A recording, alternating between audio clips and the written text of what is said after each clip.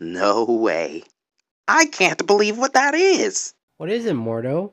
It's a Harley Davidson WLA Knucklehead. Huh.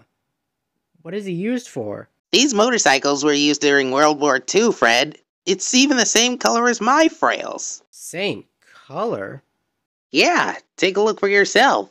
Uh, Mordo, I hate to break it to you, but it doesn't look the same color as your frails. What? What are you talking about? They look practically identical. I'm serious. Take a look at this. Hmm. Still not seeing any difference.